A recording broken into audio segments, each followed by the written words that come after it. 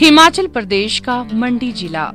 यह जिला, जहाँ अपनी खूबसूरत पहाड़ी वादियों से सबका मन मोहने की क्षमता रखता है, वही यहाँ की भौगोलिक कठिन परिस्थितियाँ सरकार द्वारा जनहित के लिए चलाए जा रहे विभिन्न कार्यक्रमों के सफल संचालन के लिए एक बड़ी चुनौती रहती है।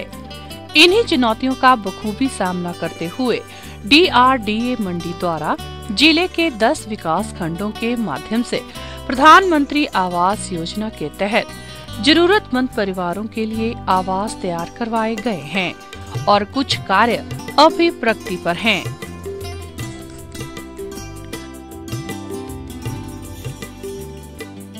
योजना के तहत मंडी ज़िले को वर्ष 2016 व 17 में ग्रामीण विकास विभाग द्वारा कुल एक सौ पैंसठ घरों के निर्माण का लक्ष्य प्राप्त हुआ है, जिसमें अप्रैल 2016 से दिसंबर 2017 तक 132 गृह पूर्ण किए गए हैं।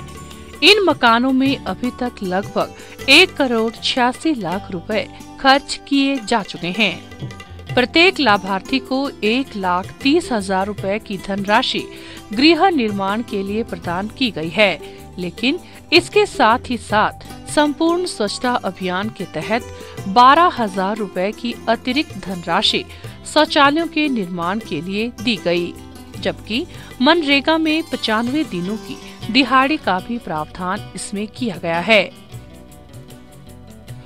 योजना के तहत बने आवासों में बिजली पानी व अन्य मूलभूत सुविधाएँ भी अन्य विभागों के सहयोग करके पहुंचाई गई हैं। मेरे पास शौचालय हल नहीं था ना जी। कैसे मिले तो मैं शौचालय बनाया ना जी। और पहले मैं खेती का काम करता था। उसके बाद फिर मेरे को पैसे मिले घर बनाने के लिए। तो मैंने घर बनाया और मेरे को बहुत हौसला आया मंडी ज़िले में आज वे परिवार जो सामाजिक व आर्थिक रूप से कमज़ोर थे अब खुश हैं। क्योंकि उन्हें प्रधानमंत्री ग्रामीण आवास योजना के तहत अब सिर छुपाने के लिए एक अदत छत मुहैया हो गई है।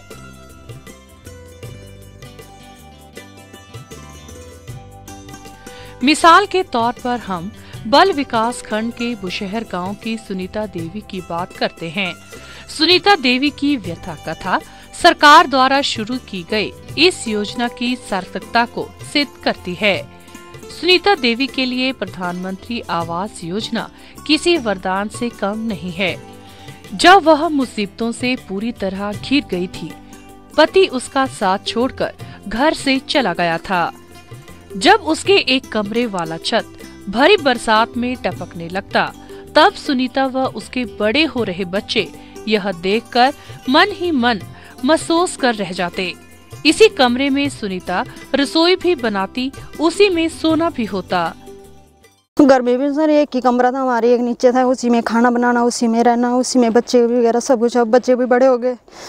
तो प्रॉब्लम आ रही थी वैसे ये ड्राइवर ही थे जैसे कि बार बार ही ज़्यादातर बाहर ही काम करते थे। बाहर चले गए जो बच्चे थोड़े तीसरी चौथी में पढ़ने लगे तो उसके बाद चल बाहर चले गए फिर बाहर से कम ही आते थे घर में ऐसे भी नहीं कुछ भी नहीं था ऐसी स्थिति में पंचायत से उसे प्रधानमंत्री आवास योजना का पता चला। सुनीता देवी बीपीएल परिवार से संबंधित है और सामाजिक, आर्थिक एवं जाति गणना के अनुसार प्रधानमंत्री आवास योजना में पात्र है। आज योजना के तहत उसके पास तीन कमरों का पक्का मकान बनकर तैयार हो गया है। उसका कहना है कि योजना के तहत, हालाँकि, उसे एक लाख तीस हज़ार रूपए की ही राशि मिली है। लेकिन, अगर यह राशि नहीं मिलती तो वह कभी भी पक्का घर नहीं बना सकती। मायके वालों के साथ ही साथ, लोगों ने भी उसको घर बनाने के लिए मदद की और खुद भी उसने घर बनाने के लिए मजदूरी की। आज वह खुश है। हालाँकि, पुराने दिनों की याद करते हुए उसकी आँखों में आँसू आज भी छलक जाते हैं।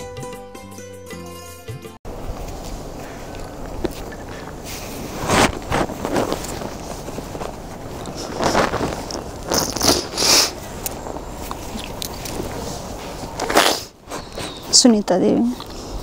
सुनीता देवी। मजदूरी की सर बेलदारी पूरी अपने आप खुद दी की सर। एक भी दिन में सिर्फ़ मिस्त्री लगा था, सर, बच्चे भी अब बड़े हो गए थे, जैसे कि उनसे ट्रेनिंग भी करवानी थी, कैसे करवानी थी, मैंने कुछ भी नहीं हो सकता था। तो चलो एड़ा सरकार ने थोड़ी हेल्प की तो हमारी थोड़ी हमें हौसला बदा और थोड़ा ये हो गया भाई चलो, करेंगे कुछ। ठीक है, सर, बहुत अच्छा हुआ, सरकार ने इतनी हेल्प की तो।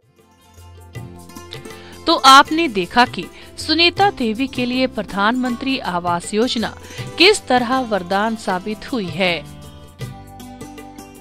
अब ये देखिए, इसी विकास खंड के मतलेहट पंचायत की दुर्गा देवी की कहानी। दुर्गा देवी आज वृद्धावस्था में है। घर में उसकी बेटी की शादी हो जाने के बाद वह एकाकी जीवन जी रही है। मिट्टी के बने पुराने घर की छत कभी भी टपक पड़ती। ऐसे में छत से तो पानी टपकता ही, लेकिन आँख से टपकते आँसू भी गरीबी पर मजबूरी की दास्तां बयान करते। ऐसी स्थिति में उसके घर व आँख से टपकते पानी को रोकने में प्रधानमंत्री आवास योजना ने भूमिका निभाई। आज बुज़ुर्ग दुर्गा देवी को पक्का मकान नसीब हो गया है। इस योजना के लिए अब वह सरकार का धन्यवाद करती है। बरखा बुरखा हुई थी ना तो अंतर भी चौड़ा हुआ था, भीतर भी चौड़ा हुआ था। बिस्तरा कहते कहते खा लाना जे फिर बांधे थे ना थाले, जो चौड़ा हुआ था। बस फिर का टाइम ही और क्या करना वो ये गिरा सब बनी कितने बना सरकार पैसा नहीं देता दस सारी कितनी रूम आई थी ये बेसुख हुई या सब कुछ घर से भी मिल ठीक हुई या जो पैसा नहीं मिले गवर्नमेंट तो आशा किद के बना था अगर कमाई कुछ नहीं थी. ये थी वही नरेगे कमाई थी उनसे आने हुए कितना काम करना था पहाड़ों पर बसने वाले लोगों के दुख दर्द की कहानी तब और अधिक मुकर हो जाती है। जब भौगोलिक परिस्थितियों से जूझने का उनका जज्बा सामने होता है। पहाड़ी पर घर बनाना आसान नहीं। इसी कठिनाई का सामना सदर विकास खंड के गुम्मत राम को करना पड़ रहा था।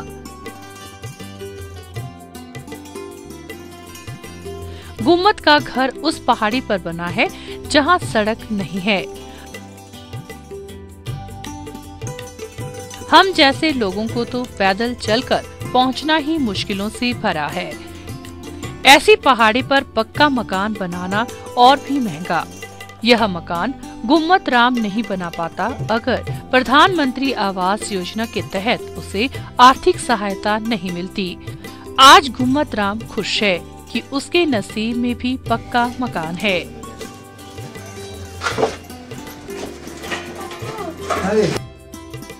इसी तरह प्रधानमंत्री ग्रामीण आवास योजना के हर एक लाभार्थी के दुख और दर्द की अपनी दास्ता रही है, जिसे योजना के तहत एक पक्की छत के सुख के रूप में तब्दील किया गया है।